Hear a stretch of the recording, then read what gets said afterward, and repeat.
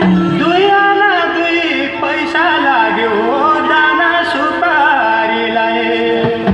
कहिले सुखा